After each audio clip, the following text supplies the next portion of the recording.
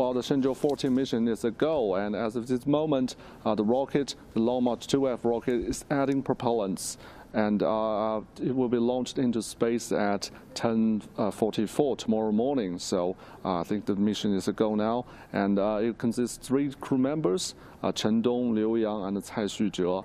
Uh, much of a much expected crew. Chen Dong, a veteran taikonaut who served in Shenzhou 11 missions, and Liu Yang, who is also China's first female taikonaut, served in Shenzhou 9 and uh, Cai Xuzhe, this is his first time into space, one of the uh, um, of second group taikonaut in China.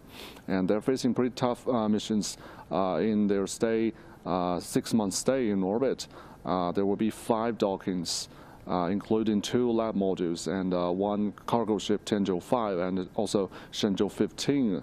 Uh, so they will shift in orbit and return to Earth in December this year. And well, uh, about uh, about the uh, during their stay in orbit, they will help in complete the um, in orbit construction of China's space station. Uh, that will include um, two major lab modules in the, the, installation and also the shifting of these two modules, uh, the Wentian and the. Uh, the combination of China's space station will will be uh, nine different ways. Uh, they will perform with the help of two robotic arms, uh, one uh, in orbit now and another one attached in with the uh, Wentian lab module. And well, the, about the details of this mission, well, this, sports, this small robotic arm along with the big one will, will be helping taikonaut to install and also shifting lab modules in space.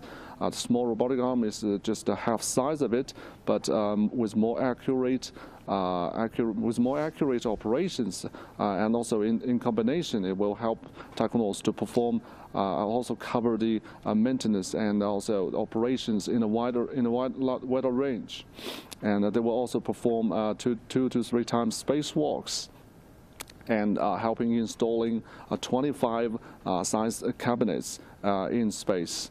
Uh, and uh, what the function about the functions of two lab modules that China is going to launch later this year.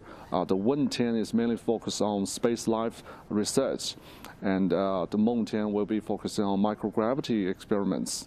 And there will, there will also be uh, expo exposed uh, experiments modules that are helping to testing, testing equipments like materials as well.